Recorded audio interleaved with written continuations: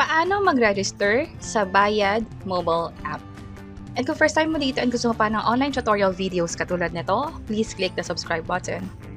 So ngayon, gamit ko yung cellphone ko and para magamit yung bayad na mobile app, ginagamit to pang bayad ng mga bills online. Kasama na dyan yung sa mga government bills like SSS, PhilHealth, DFA, at marami pang iba.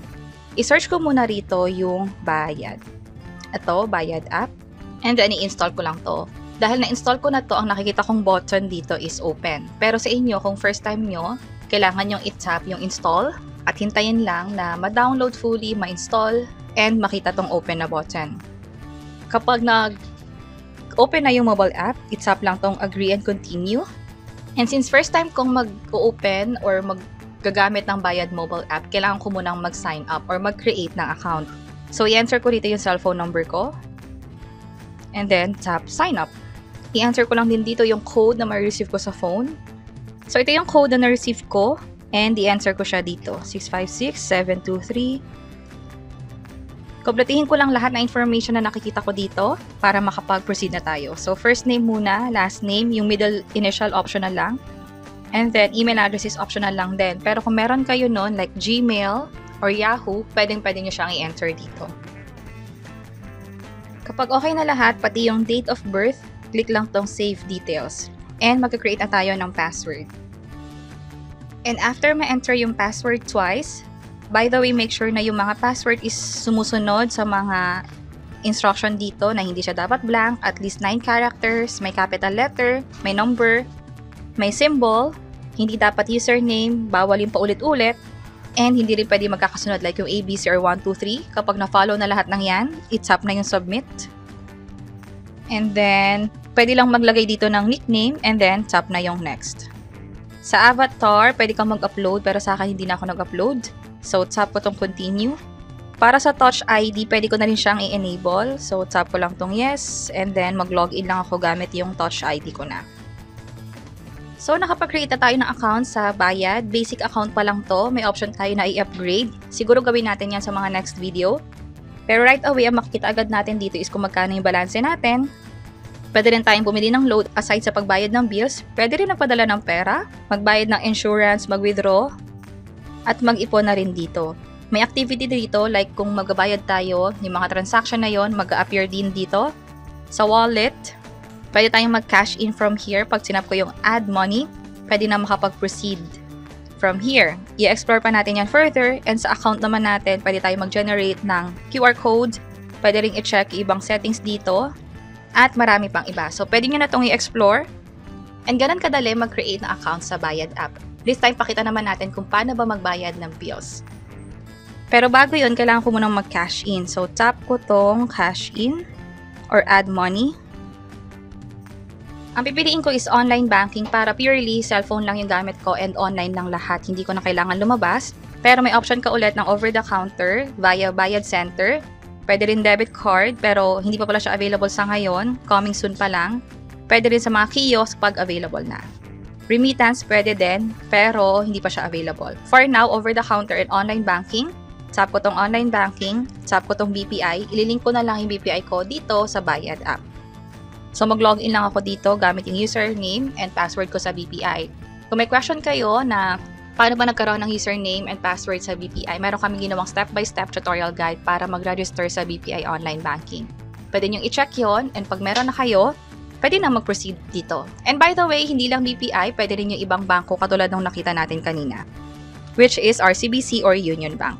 Ipapakita rin namin yung tutorial guide for Union Bank, pero basically almost the same lang din naman siya. Let's proceed. Tap ko muna tong BPI and mag-login lang ako dito. Tap ko yung accept. And successful na yung pag-link, meron ditong reminder na possible ma-unlink to kapag walang activity within 30 days. Also, may na-receive din tayong text about this transaction na ginagawa natin. So, balik tayo. Tap ko lang tong okay, got it. And then, tap ko lang yung BPI. Mag-enter lang ako ng amount. Let's say, gusto kong mag-top up ng 1,000 pesos. And then, piliin lang yung bank account sa BPI. I-tap na yung next. And then, tap yung confirm. Hintayin ko lang yung code na ma-receive ko sa phone. Ito yung na-receive ko na code from BPI mismo siya. So, i-enter ko lang dito yung code. As soon as matapos yung pag-enter ng numbers na na-receive natin, mag-process na siya. And ito na. So, nakapag successfully cash in tayo or top up. So, tap ko tong done. Hintayin lang natin na mag-fully refresh. Habang naghihintay, wala po siya sa transaction history. Ito na, yung text na na-receive natin from Bayad. Dito sa app, hinihintay na lang natin siya. Ito na, nag-reflect na rin yung 1,000 pesos. This time, mag-bayad na tayo ng bills. So, from registration to cash in, this time, actual payment na. So, itap ko tong pay bills. Government, dahil ang mabayaran ko is yung sa DFA passport. Tap ko tong DFA. Preferred biller nickname. Pwede ako mag-enter dito ng something na magpapaalala sa akin kung anong klaseng bill ba to. So, tap ko yung okay. And then, i-enter ko na lang dito is DFA. Any nickname pwede, basta maalala nyo kung para saan ba yon. Now for the account number, i-enter natin dito yung reference number. Yun na-receive natin from DFA mismo. So ito yung na-receive ko na email. I-copy ko lang tong reference number. Balik tayo dito and then i-paste ko lang din dito. And reminder lang tungkol dito sa account number, nag-iiba-iba yan depende sa bill na binabayaran natin. Like sa Meralco, customer account number yung ginagamit doon. Sa ibang bills like sa internet, sa tubig, i-check natin kung ano ba yung account number na dapat para doon. And meron kami mga step-by-step tutorial guide tungkol siyaan. Pwede nyo i-check sa channel namin and i-search kung ano yung bill na gusto nyong bayaran. And this time, magbayad na ako ng amount or i-answer ko na yung amount which is 1,000 pesos.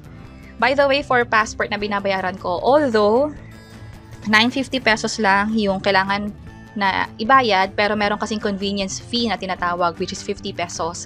So, babayaran ko is buong 1,000 pesos na. And then, pwede kong i-save tong biller para pwede kong bayaran next time. Pero dahil one time lang naman to, i-uncheck ko na. Pero kung sakaling ang binabayaran nyo is yung monthly bills like yung sa kuryente, tubig nga, or internet, magandang i-save nyo na rin siya. Tap ko tong next. And yung fee is zero. Wala nang bayad kasi nga meron ng convenience fee dun sa 1,000 pesos. And i-double check lahat ng info kung tama. So, na-double check ko na lahat, yung account number and also yung amount. Pwede na tayo mag-proceed. Tap ko yung confirm. And payment successful na. So, maganda na i-save natin to. And also, i-share na rin sa iba para meron din silang kopya nung proof of payment. By the way, mahalaga na meron kang nakatagong resibo or proof nung ginawa mong pagbayad nga online para just in case na hindi ka makareceive ng email from DFA about the confirmation ng appointment mo, ito yung pwede mo mapakita na nagbayad ka talaga online. And pwede ka mag-proceed sa pag-claim mo or pag-process mo ng passport sa DFA site. And sana nakatulong tong video na to. Kung oo, pakiclick ang like button. Ito pa iba't ibang mga tutorial videos tungkol sa bayad. Ito yung mga bills na binayaran namin. And see you sa mga next videos. Bye-bye!